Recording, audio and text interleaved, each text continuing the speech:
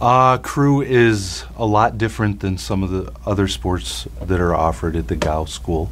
Uh, the, it's best for students who like to be on a team, but maybe are not interested in soccer, and that and that are also athletic. So it's it's a great sport for someone who's athletic and wants to be on a team. The uh, the varsity team is very strong this year, and they're it, they're really exciting to watch. They've worked hard throughout the season. They've had two regattas so far, um, and they're our first regatta, the head of the Welland. They improved their score, I think, from last year. I think they improved two and a half minutes. So they are uh, they're really fun to watch. Uh, we have Danny Latterini on uh, on the varsity team. He would be considered a novice, but he picked up the sport very quickly, and we put him in, and he's he's done a great job.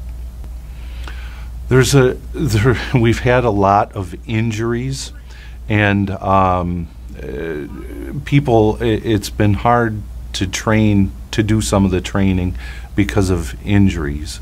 Uh, so uh, when I when we don't have a full squad, it's I plan for a full squad. Then sometimes people can't come because they're hurt. A crew crew means rowing team, and it's it's rowing. It's um, uh, the basics of, of rowing. You need to know the different commands. There's a lot of different commands you need to learn.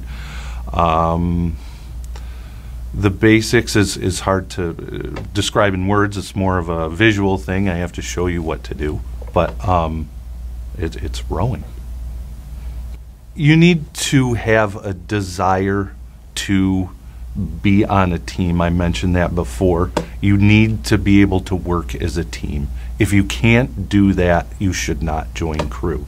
Your position in the it seems like when you're in a in a big eight-man boat, that you can hide that no one sees if you make a mistake. But if you make a little mistake, if you're not trying your best, it affects the balance of the boat. It affects how fast the boat goes. And if the boat is rocky because you're not giving it your all, people are going to get mad at you. Um, and uh, and again, the uh, rowing. If you're not interested in exerting uh, energy. It's it's you need a lot of endurance, and we train for that. So um, you just need to be prepared for a lot of work, and you have to be able to work on a team.